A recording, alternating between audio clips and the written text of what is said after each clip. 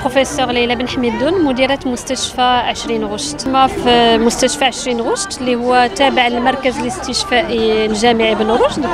آه كان نحتفلوا آه باليوم العالمي لسرطان الطفل. آه هو يوم اللي اختارينا ليه كموضوع آه Euh, la greffe de cellules souches hématopoétiques, l'allogreffe plutôt.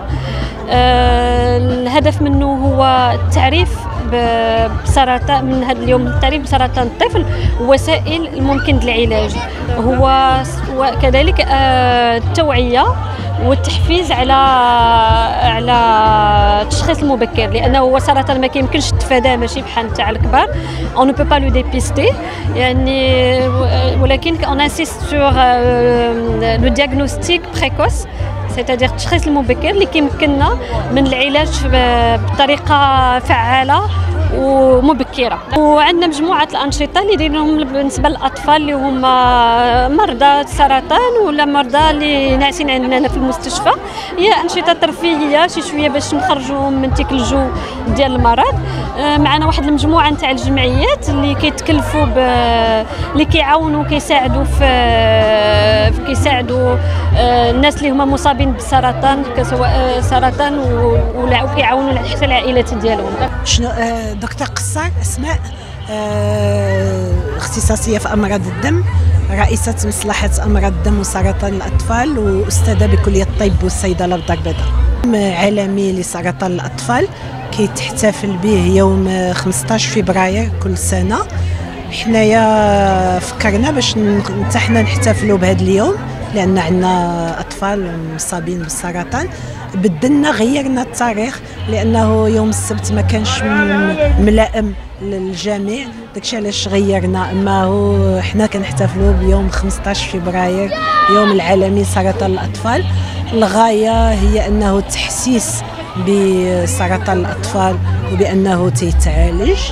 والحاجة الثانية آه، نتواصلوا مع المرضى مع الجمعيات مع les professionnels alors بغينا ندويو على المغرب الا كان عندك شي في المغرب تنقدروا الحالات ما بين 1000 1200 حالة.